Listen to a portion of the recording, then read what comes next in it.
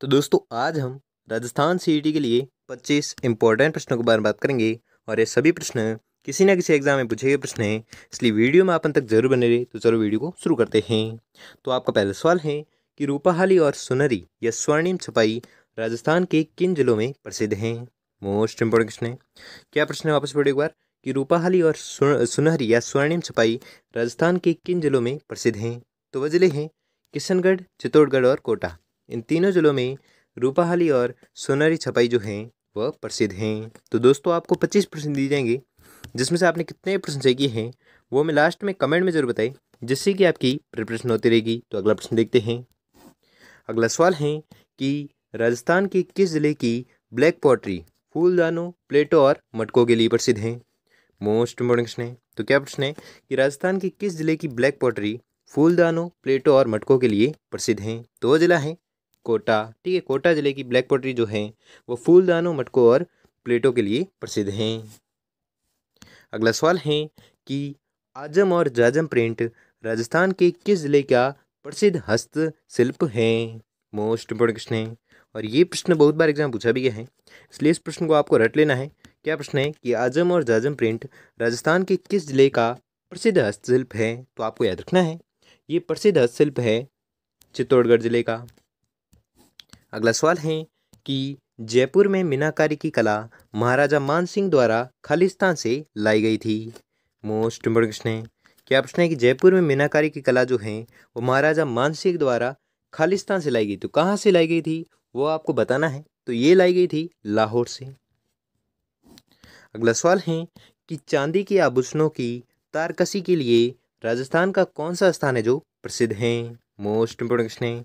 ये भी प्रश्न बहुत बार एग्ज़ाम पूछा गया है, इसलिए इस प्रश्न को भी आपको रट लेना है। तो क्या प्रश्न है कि चांदी के आभूषणों की तारकसी के लिए राजस्थान का कौन सा स्थान है जो प्रसिद्ध है? तो वह स्थान है नाथद्वारा। अगला सवाल है कि कृपाल सिंह शेखावत का संबंध है? मोस्ट इम्पोर्टेंट क्वेश्चन है। तो कृपाल सिंह शेखावत का जो संबंध है, यह संबंध है राजस्थानी ब्लू पोट्री से। अगला सवाल है कि श्रीलाल जोशी का संबंध किससे है? मोस्ट इम्पोर्टेंट क्वेश्चन है। और ये भी प्रश्न परीक्षा में आ सकता है कि श्रीलाल जोशी का संबंध जो है, वो किससे है? तो उनका संबंध है फट से। अगला सवाल है कि उदयपुर में भारतीय लोक कला मंडल की स्थापना खालिस्तान ने की थी। तो मंडल की स्थापना खालिस्तान यानी किसने की थी, वो आपको बताना है। तो इसकी जो स्थापना की थी, वो की थी देवीलाल सामर ने देवीलाल सामर ने क्या किया? देवीलाल सामर ने उदयपुर में भारतीय लोक कला मंडल की स्थापना की थी। अगला सवाल है कि मीनाकारी की थेवा कला के लिए राजस्थान का कौन सा स्थान है जो प्रसिद्ध है? मोस्ट इम्पोर्टेंट क्वेश्चन है। ये प्रश्न एग्ज़ाम में आ सकता है कि मीनाकारी की थेवा कला जो है, वो राजस्थान का, थेवा कला के लिए राजस्थान का कौन सा स्थान है जो प्रसिद्ध है? तो वह स्थान है प्रतापगढ़। अगला सवाल है और ये दसवां सवाल है कि राजस्थान का कौन सा ज़िला अजरक प्रिंट के लिए प्रसिद्ध है? मोस्ट इम्पोर्टेंट क्वेश्चन है। और ये प्रश्न बहुत बार एग्ज़ाम पूछा गया है और ये आज की क्लास का very very most important question है और इस प्रश्न को आपको रट लेना है और कुछ भी करके याद कर लेना है, क्या प्रश्न है कि राजस्थान का कौन सा ज़िला अजरक प्रिंट के लिए प्रसिद्ध है? तो वह ज़िला है बाड़मेर, जो अजरक प्रिंट के लिए प्रसिद्ध हैं। अगला सवाल है कि उस्ता कला के विकास के लिए उस्ता कैमल हाइड केंद्र की स्थापना उन्नीस सौ पचहत्तर ईस्वी में कहाँ की गई थी? क्या प्रश्न है कि उस्ता कला के विकास के लिए उस्ता कैमल हाइड केंद्र की स्थापना जो की गई थी, वो उन्नीस सौ पचहत्तर में की गई थी और कहाँ पर की गई थी वो आपको बताना है। तो उसकी जो स्थापना की गई थी, वो की गई थी बीकानेर में। अगला सवाल है कि वह कलाकार जो बीकानेर के प्रसिद्ध मथेरन परिवार से संबंधित हैं मोस्ट इम्पोर्टेंट क्वेश्चन है। और ये प्रश्न एग्ज़ाम में आ सकता है, इसलिए इस प्रश्न को भी आपको रट लेना है। क्या प्रश्न है कि वह कलाकार जो बीकानेर के प्रसिद्ध मथेरन परिवार से संबंधित हैं तो वह कलाकार कौन सा है? तो वह कलाकार है मुन्ना लाल एवं मुकंद। ये दोनों जो कलाकार हैं, ये दोनों कलाकार मथेरन परिवार से संबंधित हैं।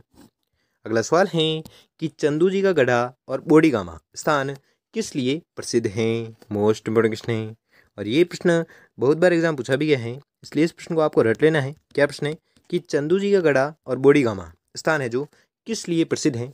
तो ये जो स्थान है, ये स्थान प्रसिद्ध है तीर बनाने के लिए।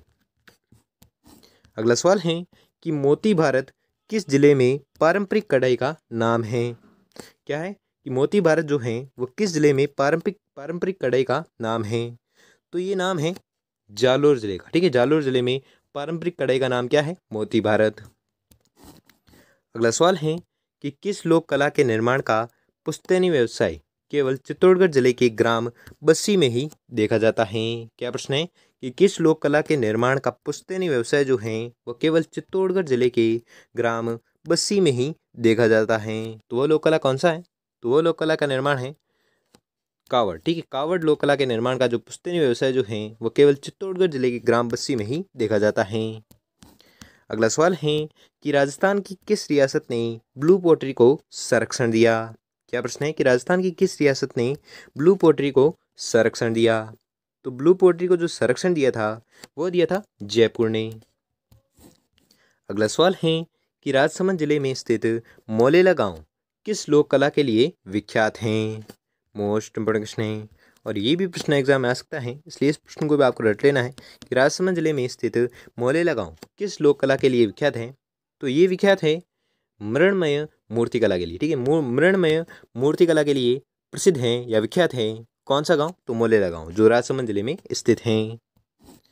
अगला सवाल है कि पारंपरिक कलाकार मांगीलाल मिस्त्री किस क्षेत्र में प्रसिद्ध हैं?